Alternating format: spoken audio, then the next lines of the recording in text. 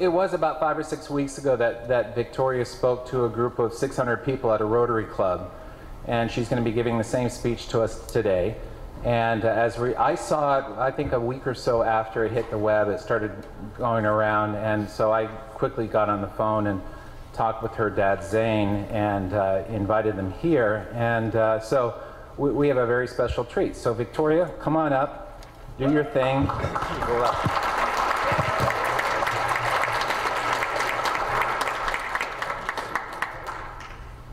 Have you ever wondered why Canada is in debt?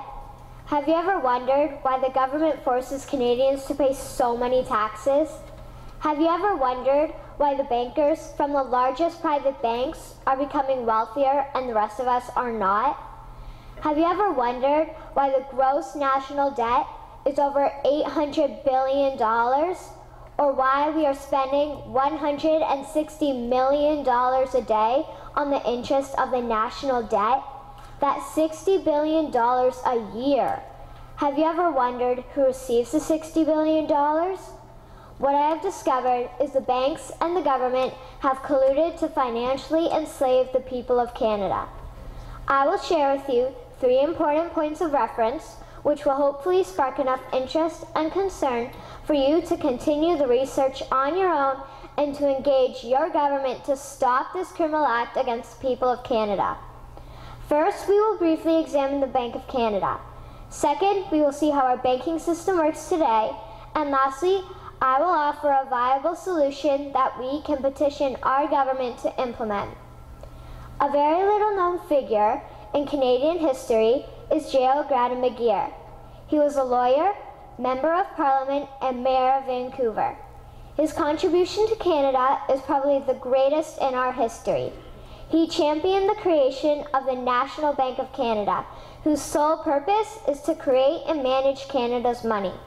It was formed on July 3, 1934, and owned by all Canadians. Until the 1970s, because of the Bank of Canada, Canada's national debt was held at a constant manageable level until the government, government decided to implement what we now have as our modern day banking system that is robbing the Canadian people. So how are they robbing us? Allow me to explain how our private banks and government work today. First, the Canadian government borrows money from the private banks. They then lend the debt-based money to Canada with compounded interest. The government then continues to increase taxation of Canadians year after year in order to pay back the interest on the exponentially growing national debt. What results is inflation, less real money for Canadians to spend into our economy, and the real money being used to pad the pockets of the banks. Also, the government gave the banks the ability to loan out money that doesn't exist in the form of loans. When a bank gives you a mortgage, which literally means a death pledge, or a loan, they don't actually give you money. They click a key on a computer and generate the fake money out of thin air. They don't actually have it in their bank vaults. Presently, the banks only have $4 billion on reserve, but they have loaned out over $1.5 trillion. To quote Graham Towers, each and every time a bank makes a loan, a new bank credit is created new deposits, brand new money. Broadly speaking, all new money comes out of a bank in the form of loans. As loans are debt, then under the present system, all money is debt. What I find interesting is even Jesus in Matthew 21 drove out the money changers in the temple because they were manipulating the currency to steal money from the people. The private banks are just like the money changers in Matthew 21. They are defrauding and robbing the people of Canada, thus their freedom, and they need to be stopped. How should the banking system work? In an infamous interview, Mr. McGeer asked Mr. Towers, Can you tell me why a government with power to create money should give that power away to a private mono monopoly and then borrow that which Parliament can create itself back at interest to the point of national bankruptcy? Mr. Towers replied, If Parliament wants to change the form of operating the banking system, then certainly that is within the powers of Parliament.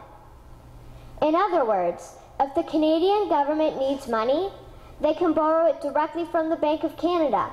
The people would then pay fair taxes to repay the Bank of Canada.